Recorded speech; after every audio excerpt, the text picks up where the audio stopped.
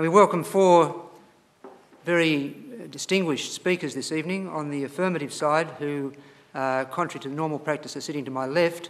We have, the, uh, we have the representatives from the Atheist Foundation, and we have Dr. John Perkins, who is a mathematical economist, a founding member of the Secular Party, and an economist, mathematical modeller, software developer, and writer with qualifications from universities in Melbourne and London. Also, Dr. Richard Doyle, who has qualifications from the University of Tasmania and from Victoria University, Wellington, New Zealand.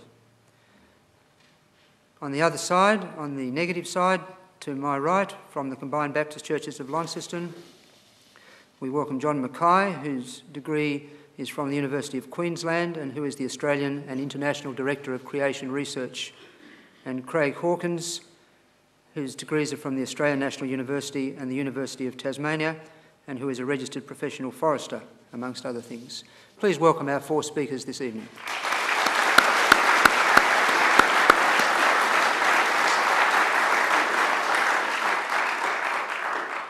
Now, the proceedings of the evening will be as follows.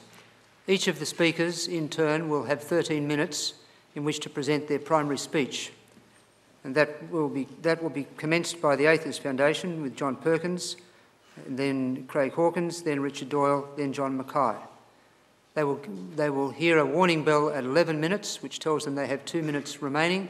At 13 minutes, a double bell to say their time has elapsed, but they have up to one minute to complete the, the thought that they are on before I commence a repetitive ringing of the bell to say, please sit down. Following the four substantive speeches, there will be opportunity for rebuttal and for each side to put one question, one formal question to the other side that they wish them to answer. The rebuttal will be first from the Atheist Foundation and then from the Combined Baptist team.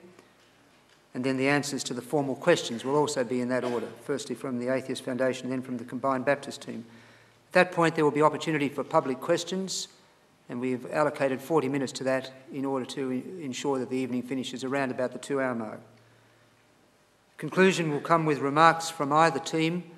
Each team will have five minutes in which to make their concluding remarks, reflecting on anything which has been said in the course of the debate and in the questions and responses to them. So, without any further ado, I would ask you please to welcome Dr. John Perkins to present his substantive speech.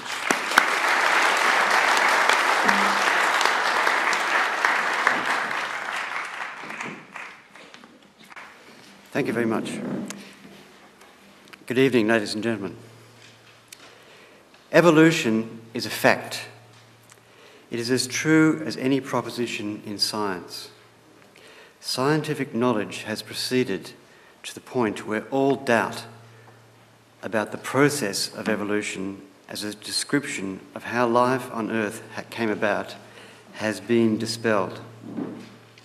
As a description of a process evolution is indeed reliable. Unwillingness to accept the fact of evolution as a reliable description of a natural process is not so much a question of evolutionary science, but one of psychology. Unwillingness to accept evolution does not arise from any failing of science, but it is a failing to accept the findings of science.